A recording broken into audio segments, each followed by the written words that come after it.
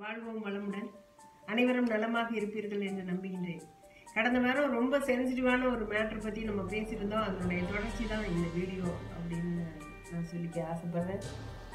இது வந்து ஏன் இப்போ இந்த தருணத்தில் அவசியம் நம்ம போட்டிருக்கோம் அப்படின்னு கேட்டால் ரொம்ப நாளாக என் மனசில் ஓடிக்கிட்டு இருந்தது. நீண்ட நாட்களாக இது மாதிரியான மனிதர்களை கடந்து வந்திருக்கக்கூடிய அனுபவம் இருப்பதனால் அவர்களுடைய மனநிலை என்னென்னவாக இருக்கும் அவர்களுக்கு என்னென்ன மாதிரியான ஒரு தீர்வு கொடுக்கணும் அவங்கள எப்படி வெளியில் எடுத்துகிட்டு வரணும் அப்படிங்கிற ஒரு டெக்னிக் எனக்கு தெரிஞ்சதுனால நான் இதை வந்து கொடுக்கறதுக்கு ஆசைப்பட்டேன். அடுத்தது இன்னொன்று என்ன இது வந்து பார்க்குறவங்களால என்ன பயன் அப்படின்னு கேட்டிங்கன்னா அந்த நபர் பார்க்கல அப்படின்னு சொன்னால் கூட நாம் மற்றவங்க யாராவது பார்த்து அவங்கள வந்து இந்தந்த சிம்டம் இருக்குது இவங்கள வந்து இமீடியட்டாக வந்து இந்த மாதிரி வெளியில் எடுத்துகிட்டு வர்றதுக்குள்ள முயற்சிகளில் நம்ம ஈடுபடணும் அப்படிங்கிற ஒரு எச்சரிக்கை வீடியோவை கூட நான் இதை சொல்லுவேன். இவ்வளோ வந்து ரொம்ப ஆணித்தரமாக நீங்கள் சொல்கிறீங்களே உங்களுக்கு என்ன நம்பிக்கை அப்படின்னு கூட உங்களுக்கெல்லாம் தோணலாம். ஏன்னா சராசரியாக பார்க்குற ஒரு மனுஷி இவ வந்து என்ன செஞ்சிட முடியும் அப்படிங்கிறது எல்லாருக்குள்ளேயும் மனசுக்குள்ளே ஓடுறது எனக்கு கேட்குது பட் வந்து ஏதோ ஒரு எக்ஸ்பீரியன்ஸ் உங்களுக்கு இல்லாதது எனக்கு இறைவன் தந்திருக்கிறாரு. அந்த எக்ஸ்பீரியன்ஸ் தான் என்னை வந்து இவ்வளோ அழுத்தமாக பேச சொல்லுது. நான் வந்து அடித்து சொல்லுவேன். என் கூட வந்து இந்த மாதிரி பிரச்சனைகளில் ட்ராவல் பண்ண எத்தனையோ பேர் இன்றைக்கி வேறு வேறு நிலைகளில் இருக்காங்க. அவங்களையெல்லாம் எல்லாம் வந்து விரைவில் வந்து ஒரு வீடியோவில் வந்து உங்களுக்கு பேச வைக்கிறேன் அப்படின்னு கூட நான் இந்த இடத்துல ஒரு கான்ஃபரன்ஸ் இது மாதிரி போட்டு நான் உங்களோட தொடர்பில் வைக்கிறேன் அப்படிங்கிறதையும் இந்த இடத்துல நான் சொல்லிக்க ஆசைப்படுறேன். இப்போது இந்த பிரச்சனை ஆரம்பத்தினுடைய நுனி அப்படிங்கிறது வந்து குழந்தையிலேருந்து ஆரம்பித்து வயோதிகத்தில் வரைக்கும் தொடர்றத சில பேருக்கு வந்து உள்ளுக்குள்ளே வந்து அது எப்படின்னா ப்ரிசர்வ் ஆகிடுது அப்படிங்கிறது வந்து கடந்த வீடியோவிலே நான் சொன்னேன். இதுக்கு முதல் முக்கிய காரணமாக அமைந்து போவது நம்மளுடைய பெற்றோர்கள் அப்படின்னு சொன்னால் கொஞ்சம் வருத்தமாக தான் இருக்குது. ஆனால் வேறு என்ன செய்கிறது அது நிகழ்ந்துருது அப்போ வந்து அவங்களுடைய கடமையிலிருந்து அவங்க விலகிடுறாங்க அப்படிங்கிறது தான் உண்மை. அப்படி பார்க்க போனோம் அப்படின்னு சொன்னாக்கா தன்னுடைய குழந்தைகள்லேயே ஒப்பிடுதல் அப்படிங்கிறதையும் ப பக்கத்து வீட்டு பிள்ளையோட ஒப்பிடுதல் அப்படிங்கிறதையும் அங்கேருந்தே ஆரம்பிச்சிடுறாங்க. அதுக்கடுத்து பள்ளிக்கூடத்தில் வந்து ஆசிரியர்களுடைய டார்ச்சரு. அப்புறம் கல்லூரியில் இவரோட பே- விரிவுரையாளராக இருக்கிறவங்க பேராசிரியராக இருக்கிறவங்க இல்லை யாரோ வந்து சக மாணவர்கள் எங்கோ ஒரு இடத்துல அவங்களுக்கு தொடர்ச்சியாக இது போன்ற நிகழ்வுகள் நடந்து கொண்டே இருக்கும். இதுக்கு முக்கிய காரணம் ஒன்று அவர்களுடைய சிந்தனை அதுக்குள்ளேயே போயிடுறது. அதனுடைய வெளிப்பாடு தான். எண்ணம் எதுவாக இருக்கிறதோ அதுதான் அவங்க வாழ்க்கைங்கிறதுக்கு இதெல்லாம் ஒரு எடுத்துக்காட்டு. அதுக்காக தான் நான் இதை சொல்கிறேன் ஸோ இது எல்லாமே அப்படியே அவங்களுக்கு வந்து ட்ராவல் ஆகி ஒரு கட்டம் வரைக்கும் அவங்க வந்து ஒரு ஒரு எண்டு வரைக்கும் பார்ப்பாங்க. அப்புறமா எல்லாமே வெறுமையாக தெரியும். இந்த மாதிரி மனிதர்களுக்கு நட்பு உறவுகள் வந்து ரொம்ப கம்மி. ஆணாக இருந்தாலும் பெண்ணாக இருந்தாலும் அவங்களுக்கு வந்து பெ- தோழிகளோ தோழர்களோ இல்லாமல் போகும்போது தனிமைப்படுத்தப்படுறதுங்கிறது வந்து அவங்களுக்கு நிகழ்ந்து போயிடுது. அடுத்தது இன்னொரு பெரிய இது என்ன அப்படின்னாக்கா எக்ஸ்ட்ரா கரிக்குலர் ஆக்டிவிட்டீஸ் இவங்கக்கிட்ட இருந்திருந்தது அப்படின்னு சொன்னால் இவங்க இந்த நிலைக்கு போயிருக்க மாட்டாங்கங்கிறது தான் வந்து. இன்னொன்று தோல்வி. ஒரு இன்டர்வியூ அட்டன் பண்ணேன் ரெண்டு இன்டர்வியூ அட்டன் பண்ணேன் பத்து பண்ணிட்டேன் ஆனால் எனக்கு வந்து இப்போ பண்ண முடியல சக்ஸஸ் பண்ண முடியல அப்படிங்கிறது ஒன்று இப்போ என்ன எனக்குன்னே வந்து இந்த தோல்வி இருக்கா அப்படிங்கிறது தான் இவங்களுடைய மனநிலையாக இருக்கும். ஆனால் இந்த தோல்விக்கு எது காரணமாக இருந்தது? எங்கே வந்து நான் என்னை மாற்றிக்கணும் எந்த விஷயத்துல வந்து நான் வந்து சேஞ்ச் பண்ணணும்? எங்க எது வந்து எனக்கு குறையாக இருக்குது? அப்படிங்கிறதுக்கான ஆராய்ச்சியில இவர் ஈடுபடவே இல்லை. இவரோ இவளோ அதை செய்யாததனுடைய விளைவு தான் இது. வேற ஒண்ணுமே கிடையாது. இன்னொரு பங்கு மேலே போய் நம்ம பார்த்தோம் அப்படின்னு சொன்னாக்கா இவங்களுக்கு வந்து ஒரு ஒரு எப்படி சொல்றது? ஒரு மர்ம நபர்களாகவே இவங்க உலா உலா வர்றாங்க. வெளிப்படைத்தன்மை இல்லாததுனால யாரோடையுமே பகிர்ந்து கொள்ளக்கூடிய அந்த யாரையுமே நம்ப மாட்டாங்க அவங்க. அவங்களுக்கு ஒரு வந்து எப்படி சொல்கிறது ஒரு ஹோப்லெஸ் ஒரு மூட் செட்லேயே எப்போதுமே இருக்கிறது அப்படிங்கிறதெல்லாம் வந்து அவங்களுக்கு இருந்துட்டே இருக்கும். இன்னொன்று பார்த்தீங்கன்னா இவங்களுக்கு வந்து தன்னம்பிக்கை அப்படிங்கிறது வந்து போயிடுச்சு அப்படிங்கிறத காட்டிலும் வாழ்க்கையே ஏதோ ஒரு மெக்கானிக்கலாக ஒரு நடைப்பின மாதிரியே அவங்க போய் வர்றதை வந்து நம்ம பார்க்க முடியும். அவங்கள்ட்ட வந்து ஒரு சிரிப்பு இருக்காது ஒரு வெளிப்படை பேச்சு இருக்காது. எதுவுமே இல்லாமல் ஒரு ரோபோட் மாதிரி அவங்க போய் வர்றதை வந்து நீங்கள் கவனித்து பார்த்தீங்கன்னா தெரிஞ்சிருக்கும். எல்லாத்துக்குமே வந்து மெக்கானிக்கலாக சிரிப்பாங்க. ஆர்டிஃபிஷியலாக இருக்கும் எல்லாமே. ஸோ இந்த மாதிரியான சிம்டம்ஸ் இருந்துச்சு அப்படின்னு சொன்னாலே அவங்களுக்கு உள்ளுக்குள்ளே ஏதோ பிரச்சனை இருக்குங்கிறத நம்ம கண்டுபிடிச்சிக்கலாம். இப்போ சில பேர் பார்த்தீங்கன்னா தொட தொட தொடன்னு பேசிகிட்டே இருப்பாங்க. சில பேர் வந்து பேசவே மாட்டாங்க. அவங்க வந்து ரொம்ப ரிசர்வ் டைப் அப்படின்னு சொல்கிறாங்க அப்படி. ஆனால் அவங்களுடைய பர்ஃபார்மன்ஸ் வந்து பெஸ்ட்டாக பண்ணிகிட்டு இருக்காங்கனாக்கா அவங்களுக்கு அது பிரச்சனை கிடையாது. ஏன்னா அவங்களோட கேரக்டர் அது. அவங்களுடைய ஆட்டிடியூடு அவங்களுடைய கேரக்டர் அவங்க வந்து ப ஆரம்பத்துலேருந்து அவங்க அப்படி இருக்காங்க அப்படின்னு நம்ம எடுத்துக்கலாம். ஆனால் திடீர்னு வந்து ஒரு ஒரு பார்க்கும்போதெல்லாமே ஒரு மனிதன் வந்து வேறு மாதிரி களத்தில் இருக்கான் ட்ராவல் பண்ணுறான் ஆனால் அவன் வந்து எதுவுமே செய்யலை சும்மா உட்காந்துருக்கான் இல்லை ஏதாவது வந்து பிரச்சனையோடயே வந்துக்கிட்டு இருக்கான் அப்படின்னு சொன்னால் அதாவது எங்கே போனாலும் அவர் பிரச்சனையோட வந்து வீடு வந்து சேர்றாரோ இல்லை தனிமைப்பட்டு இருக்கிறாரோ அப்படிங்கிறது தான் இதில் வந்து நம்ம பார்க்க வேண்டிய முக்கியமான அம்சம். இவங்க எப்போவுமே வந்து தொட்டாசினிங்க அப்படின்னு நான் சொல்கிறேன் நீங்கள் தொட்டாசினிங்க செடியை பார்த்துருந்தீங்கன்னா உங்களுக்கு தெரிஞ்சிருக்கும். அப்படி கையை அப்படி வச்ச உடனே அது அப்படியே சுருங்கிக்கும் இன்னொன்று நத்தை கூட்டுக்குள்ளே போய் உள்ளே உட்காந்துக்கும் இந்த ரெண்டையும் இவங்களுக்கு வந்து நம்ம உதாரணமாக சொல்லலாம். ஏன்னு கேட்டால் அந்த அளவுக்கு சென்சிட்டிவாக இருப்பாங்க.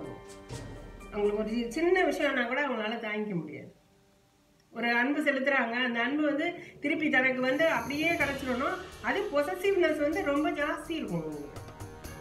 அது வந்து வேற எங்கேயும் வந்து ஷேர் பண்ணுறதுக்கே அவங்களுக்கு பிடிக்காது. அந்த மாதிரி ஒரு மனநிலை எல்லாம் அவங்களுக்கு வர்றதுனால தான் அவங்களால வந்து இந்த மாதிரியான விஷயங்களை தாங்கிக் கொள்றதுக்கு முடியாது. இப்போ இப்போ இவங்களுடைய மனநிலையில் அப்படி இப்படி யாராவது நீங்கள் பார்த்தீங்கன்னா தயவுசெய்து அவங்களுக்கு வந்து எஜுகேட் பண்ணுங்கள் உனக்கும் கீழே உள்ளவர் கோடி இன்னைத்து பார்த்து நிம்மதி நாடு. உன்னை விட மோசமாக எவ்வளோ பேர் இருக்காங்க அப்படிங்கிறத வந்து அவங்களுக்கு எடுத்து சொல்லுங்கள் அப்படி சொல்லி சொல்லி அவங்கள கொஞ்சம் கொஞ்சமாக வெளியில் வர்றதுக்கு நீங்கள் உங்களால் முடிஞ்ச உதவிகளை செய்யுங்க. இல்லையா? கொண்டு வாங்க எங்கள்கிட்ட அவங்கள எப்படியா நாங்கள் வெளியில் எடுக்கிற வேலையாவது அட்லீஸ்ட் நாங்கள் செஞ்சிடறோம். ஸோ இது வந்து ரொம்ப முக்கியமாக அவசியமாக எல்லாரும் தெரிந்து கொள்ள வேண்டிய விஷயங்கள். அடுத்தது பெண் குழந்தைகள் இவங்களுக்கெல்லாம் வந்து உளவியல் சிக்கல்கள் வந்து நிறைய இருக்குது. இது வந்து பாலியல் ரீதியான நிறைய பிரச்சனைகள் இருக்குது நம்ம பேசுறதுக்கு நிறைய இருக்குது இந்த குழந்தைகள்லேருந்து தொடங்கி ஒரு முதியவர்கள் வரைக்கும் இன்னைக்கு வந்து பிரச்சனை இல்லாத இடங்களே இல்லை. இந்த பிரச்சனைக்கெல்லாம் என்ன செய்யறது? இதுக்கெல்லாம் வந்து இவ்வளோ சட்டம் போட்டிருக்கு. இவ்வளோ வந்து அரசாங்கம் செய்துக்கிட்டே இருக்கு. எத்தனையோ காவல் நிலையங்கள் இருக்கு. எல்- எல்லாமே நம்மளை சுற்றி இருக்குது இருந்தும் இத்தனை துன்பங்கள் வந்து நம்ம முன்னாடி நின்றுட்டு இருக்கு அப்படிங்கிறது தான் நிஜம்.